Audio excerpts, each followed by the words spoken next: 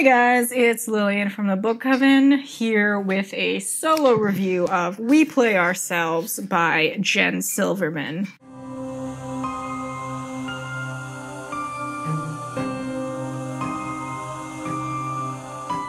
This is for our June LGBTQ plus month.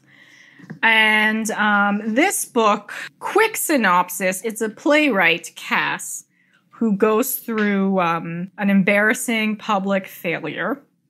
And she flees to LA because she can't handle what's going on in New York and she just wants to be done with it. So she goes over there thinking she'll just hide for a few months, hang out with her friend, rebuild her life. And she befriends her neighbor who is a filmmaker shooting a documentary about women or teenage girls who uh, made a fight club based off Fight Club.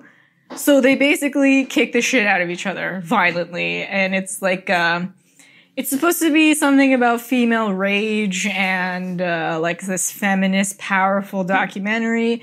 Personally, it was just teenage girls beating the shit out of each other, but whatever, whatever. Cass, she is an absolute disaster of a human, which I loved. Her whole thing was that she uh, poked a girl in the eye. That was the big embarrassment that she had. She got angry and jealous about one girl's success, so she fucking poked her eye out and was shunned for it. And I think my favorite part about this book was just what a fucking mess Cass was. She doesn't know what she's doing anymore. She had this great success for a few moments. She thought she's been a playwright for over 10 years in New York, but this is her first actual uh, play. She won this award that gave her, I think, like 30 grand for it. So she, she starts this book thinking it's her moment to shine. It comes tumbling down. We've all had those moments we think like, yes, this is it. This is going to change my life and nothing happens and it just wrecks her. So I loved hearing that.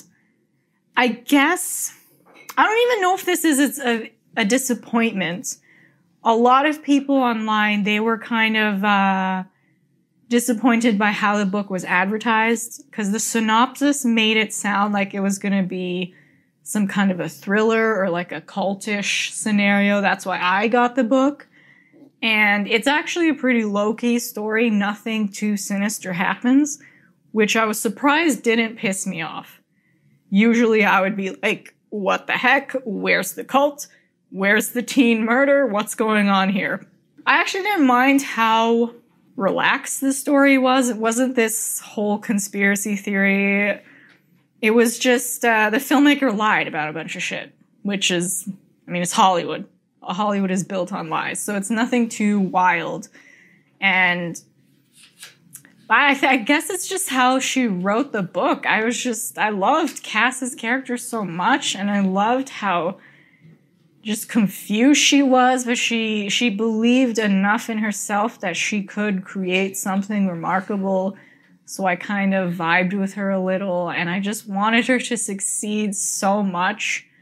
And the ending, it's not some big like fix for her life. It's just a low key, she kind of has, she takes one step forward at the end, um, which hopefully will be enough to make her fix her whole uh, playwriting career, find you know, give her that spark she needs to write the next big play. But I don't know. I personally, I wasn't let down by that, by how normal the story was. I thought it was just, I don't know, I related to her, you know?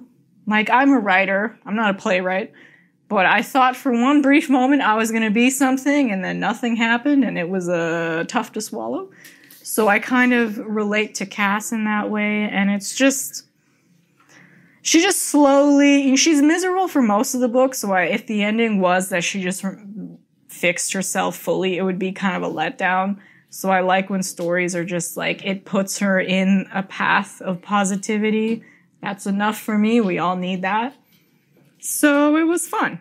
And there was nothing too like overtly gross and sexual which has been in a lot of books i've been reading recently. So that was a plus. It was just a really sad woman trying to put her life together. Aren't we all? we play ourselves. Go check it out. It's not as spooky as it sounds, but I don't think you'll be disappointed by that. Cool, thanks. Bye.